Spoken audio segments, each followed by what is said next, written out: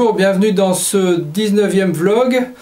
Euh, dans le dernier vlog, le 18, on avait parlé de colle à bois et été faire quelques petites recherches concernant ces, cols parce qu'il y en a tellement de sortes euh, et on va voir un peu celles qui nous intéressent. Alors j'ai commencé par prendre ma colle à bois et regarder un peu, alors je, cache la marque, un peu importe, on s'en fout, c'est juste pour avoir un indice. Ici on a un indice qui s'appelle D3.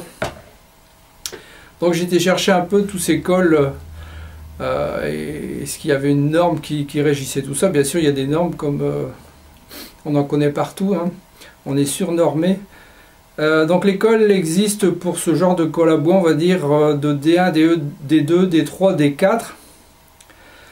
Je ne vais pas vous citer la D1. Souvent, ce qu'on trouve, c'est de la D2 et de la D3. Le plus souvent. Le plus souvent c'est ce qu'on trouve pour nous, pour notre usage amateur. On va dire la D2, c'est une colle qui ne va pas à l'extérieur, euh, qui peut être utilisée que pour euh, du collage de bois, euh, qui ne sera pas mis en milieu humide, on va dire. Donc ça sera la D2. Donc regardez bien sur les pots. Je reprends mon pot ici.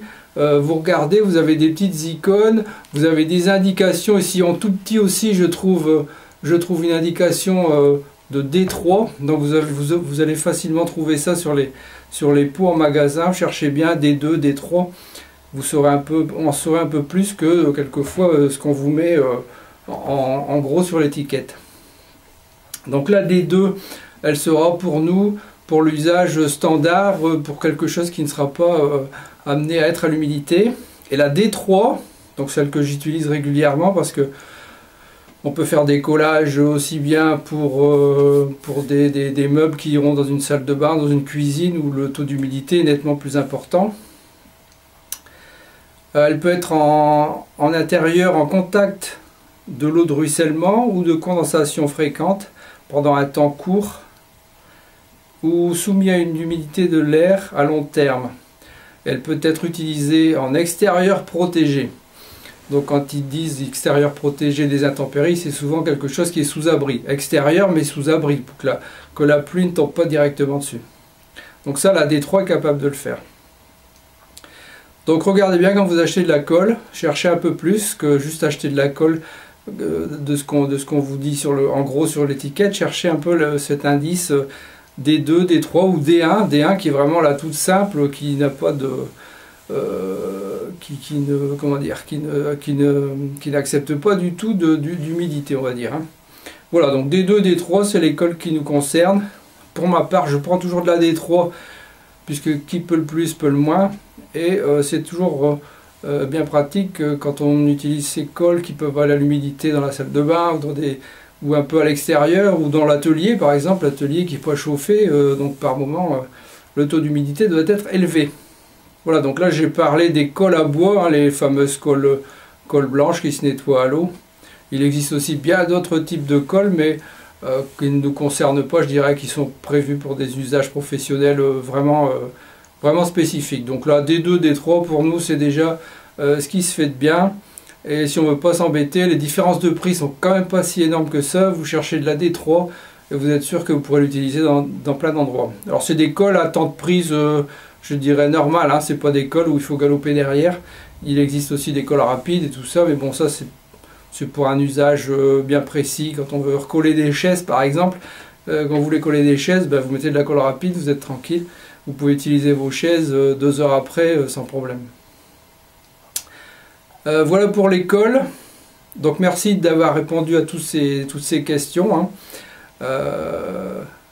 Et puis euh, ce qu'on peut, aussi faire comme différence quand on achète de la colle, bah, c'est on peut, faire un petit peu des différences de prix parce qu'on peut voir pour la même quantité de colle euh, dans un récipient, vous pouvez avoir suivant la marque des différences de prix astronomiques. C'est impressionnant. Et quand vous allez bien chercher euh, ce, petit, ce petit indice des 3, des 2, bah, vous saurez que cette colle sera la même que l'autre qui, qui coûte rien.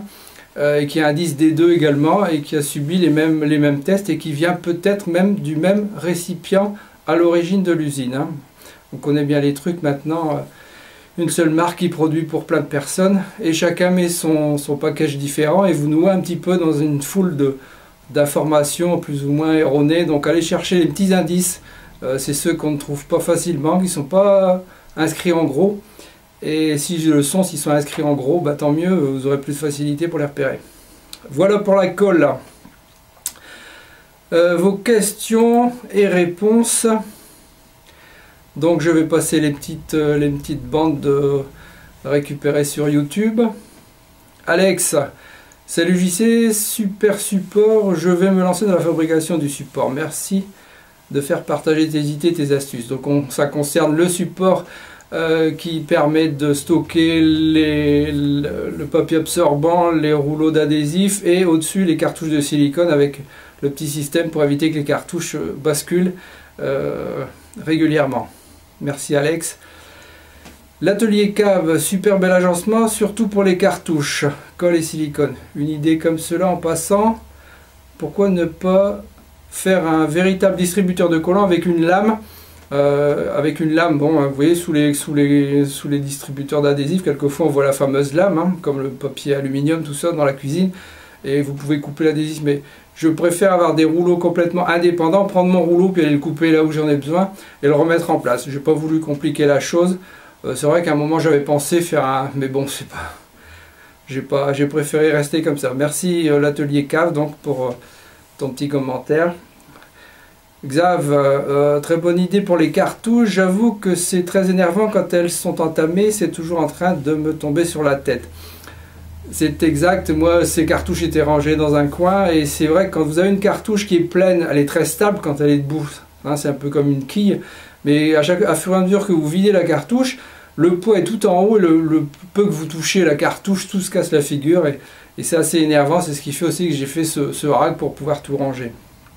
Merci Xav. Euh, Fanfan, bonjour, super réalisation. Je suis une bricoleuse du dimanche et forcément je n'ai pas de la mêleuse. Que penses-tu si je mets des vis avec l'outil Craig dans du contreplaqué? Donc c'est vrai qu'on n'a pas beaucoup de bricoleuses. Je pense qu'il y, en a quand même pas mal qui, regardent nos vidéos. Mais il n'y en a pas beaucoup qui viennent mettre des commentaires. Donc si vous nous regardez, si euh, venez mettre des commentaires, venez poser vos questions, on est là pour y répondre. Si c'est pas moi qui réponds, ce sera des abonnés qui ont la réponse. Enfin bref, on est, euh, on est une vraie équipe, je dirais, euh, et puis on, peut, on, peut répondre à toutes les questions. Donc en l'occurrence ici, ben, elle n'a pas de la mêleuse.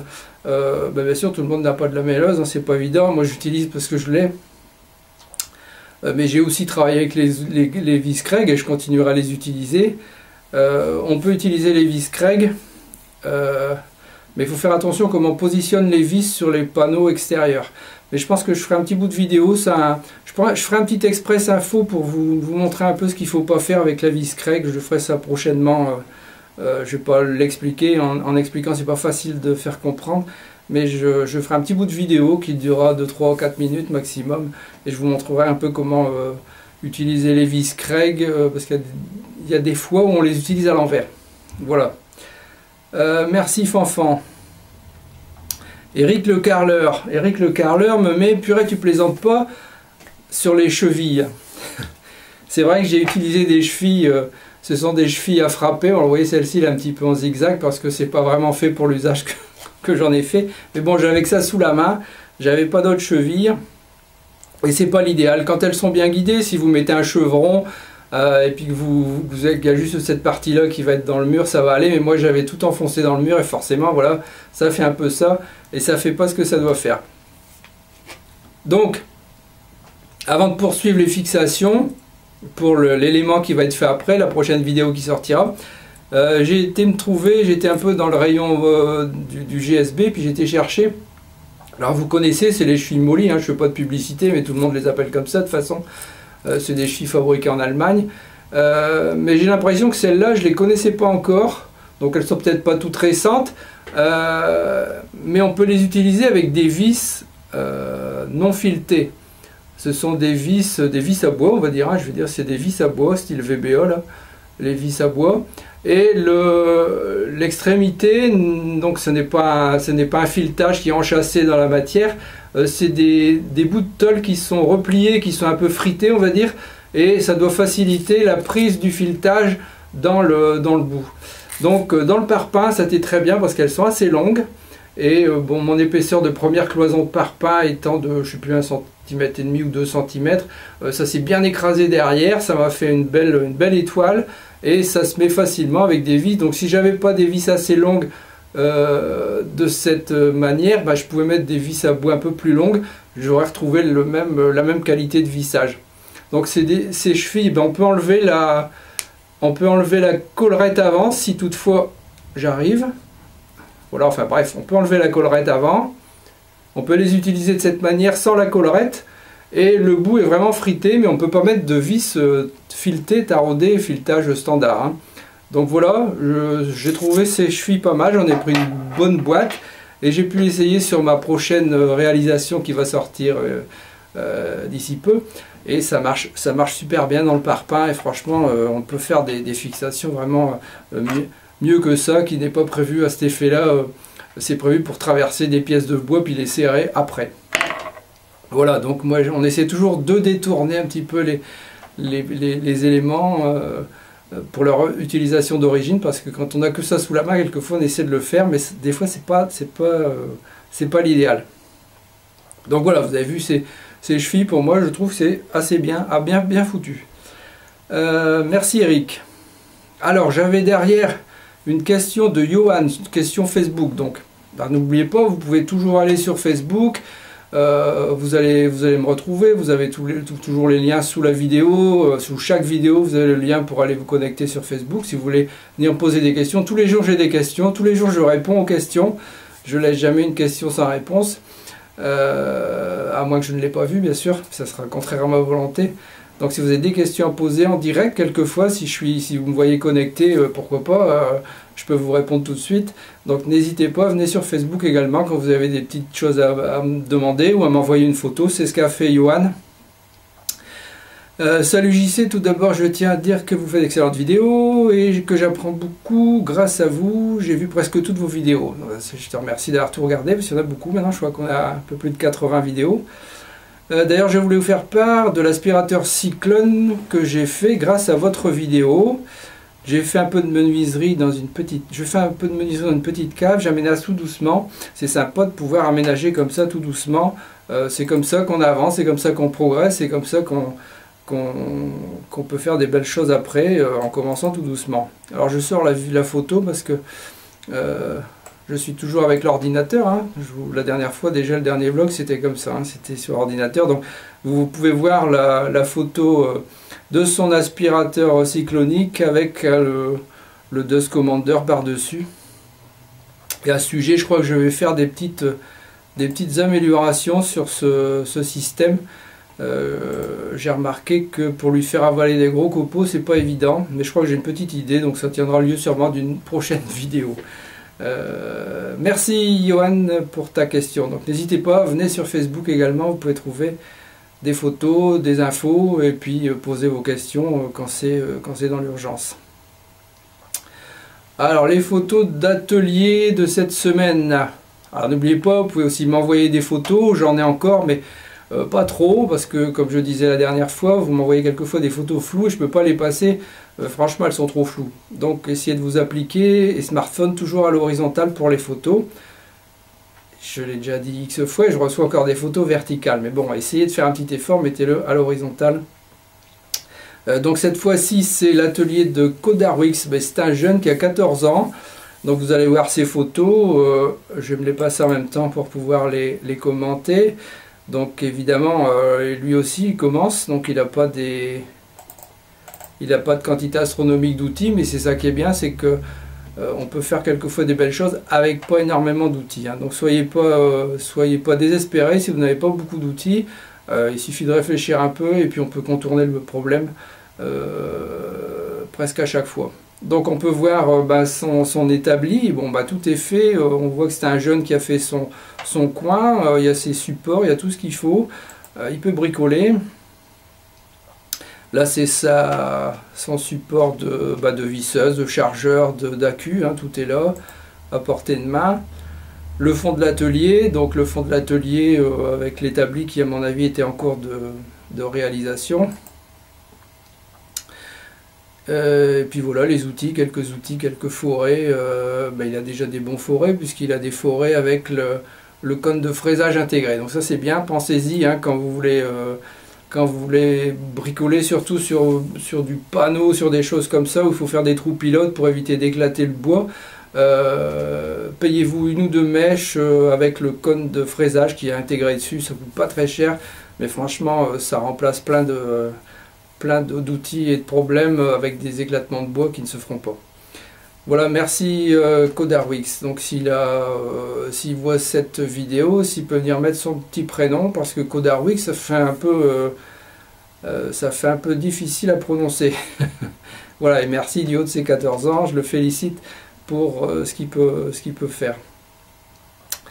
Euh, donc n'oubliez pas, vous pouvez envoyer des photos ou des bouts de vidéo. Hein, si vous avez filmé un bout de vidéo dans votre atelier, vous avez fait quelque chose, vous voulez filmer, vous voulez que ça passe, envoyez un bout de vidéo. Hein, moi c'est pareil, je peux passer aussi bien un bout de vidéo que des photos.